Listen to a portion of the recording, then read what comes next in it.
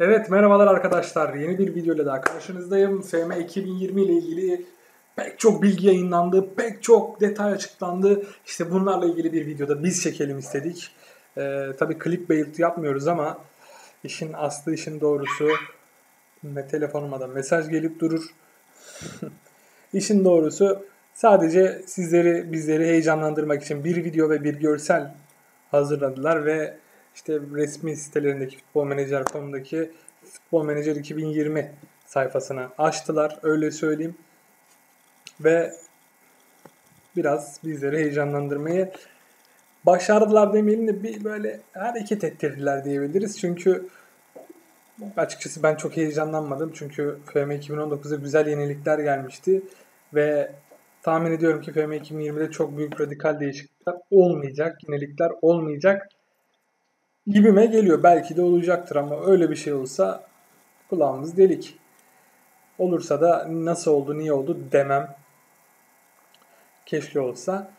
Evet, e, her yerde sağda, solda, yukarıda, aşağıda görmüş olduğunuz gibi yani FM20 ile ilgili detaylar burada sitemizde, kanalımızda gibi şeylere pek e, dikkat etmeyin diyorum. Çünkü herhangi bir şey açıklamadılar şimdilik. E, ama böyle dediğim gibi hit almak için bazı şeyler yapıyor olabilirler.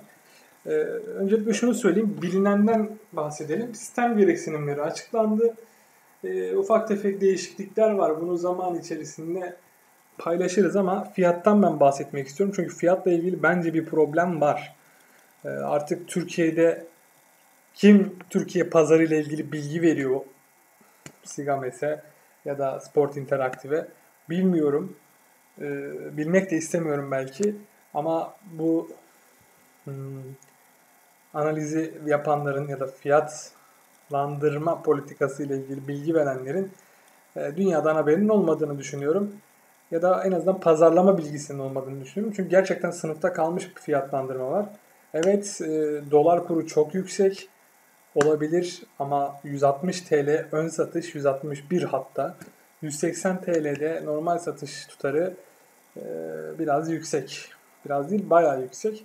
Hani 134 falan su kaldırıyordu ama ben 180 liranın aşırı fazla olduğunu düşünüyorum. Dolar 6 liradan hesaplarsak 30 dolar falan oluyor. Bence oldukça fazla. Çünkü her ne kadar benim ya da bizim gibi, benim gibi olanlar gibi e, pek çok kişi CM1, 2, 3, 4, işte FM6, ee, bunlardan beraber gelen bir tutkuyla oyunu alsa da şimdilerde çalışıyoruz, maaşımız var vesaire. Oyunun bence %65-70 kitlesi hala lise ve üniversite öğrencisinden oluşuyor. Ki bunların da e, cep harçlığı durumu haliyle bir çalışan insan kadar değil. Ve 180-200 lira bir oyuna verecekleri zaman yani bu problem olabilir. Ayrıca FM 2019'dan ilgili bir şey söylemek istiyorum. Geçen sene İlk hafta hemen crack çıkmıştı oyun çıkar çıkmaz. Buna rağmen rekor satışlar yaptı. Çok ciddi istatistikler yakaladı ki biliyorsunuz Miles Bey bundan bayağı övünüyor bu aralar. Ama iş yapılan radikal değişiklikler, oyunun beğenilmesi gibi şeyler sayesinde bu kadar satışa ulaşıldı. Ama FM 2020'de bu fiyatla bunu yapabileceklerini zannediyorlarsa bence başarısız olacaklar. Umarım yanılırım. Umarım insanımız 180 lirayı trink diye verebilir. Ben de isterim herkes zengin olsun, herkesin parası çok olsun. Oyuna bu kadar para ayır, ayırabilsin ama netice itibariyle e, ben Sigames'in ya da Sport Interactive'in tarafında değilim. Ben işin oyuncu kısmındayım. Ve bu oyunu oynayan insanların menfaatini düşünmekte e, kendimi mükellef görüyorum öyle söyleyeyim. Dediğim gibi fiyat yüksek. Bu bir bence sıkıntıdır. Problemdir. Ee, öyle söyleyeyim. Bizler alabiliriz ama yani biz alsak yani ne bileyim ne fark eder alsak almasak. Önemli olan bu oyunu oynayan kitleleri e, çocuk yaştan edindirip çocuk yaş dediğim lise, üniversiteden itibaren edindirip bir katkı sağlaman. Onun dışında ben zaten alırım oynarım. Bu benim sorunum değil gerçi ama futbol menajerle ilgili bir ciddi pazarlama ve fiyatlandırma problemi olduğunu düşünüyorum. Gelelim Şu web sitesine bir bakalım. Fikrinizi duyurun diyor. Herkesin bir fikri vardır. Siz de fikrinizi paylaşın. Altında hashtag create the future. Yani geleceği yarat diyor. Şimdi satın al diyor vesaire.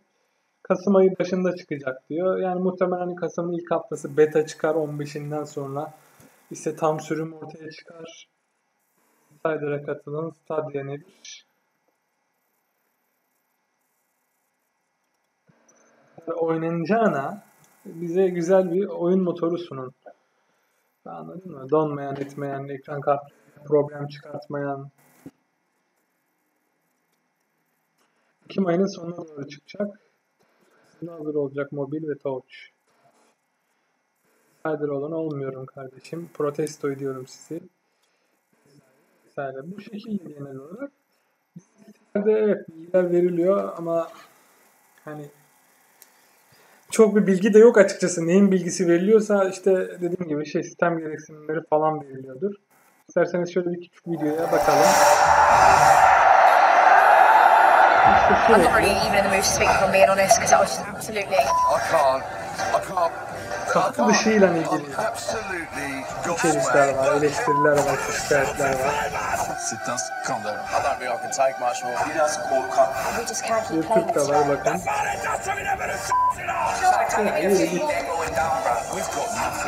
Bu iş. Türkiye'de böyle olmuyor.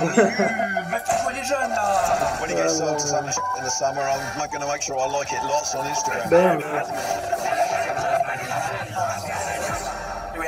No, because we didn't sign one, did we?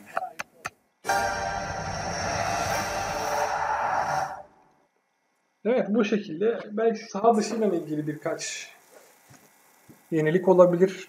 Video bende bu etkiyi yarattı. Bu düş- düşünceyi oluşturdu. Ee, dediğim gibi çok fazla bir detay yok. Olduğu zaman FM oyuncusunda muhakkak olur. Ee, açıkçası bu videoyu da hiçbir bilgi olmadığı için yaptık. Biraz en azından yorum yapalım. Etrafta bir, bir iki yorum oluşsun. Belki bizden yorumu başkası alır. Atıyorum ki futbol dili edebiyatı alır ya da başka birisi alır. Ee, Şevki Mert Özbey alır. Başka birisi başka bir yorum yapar gibi belki, belki bir şeyler olur diye bu videoyu çektik. Yoksa video çekmek falan da düşünmüyorduk. Zaten gördüğünüz gibi düz ekrandan anlatıyorum. Hepinize iyi oyunlar diliyorum. Umarım güzel bir FM 2020 olur ve fiyatlarında da biraz evet, aşağı düşme olur. Görüşmek üzere.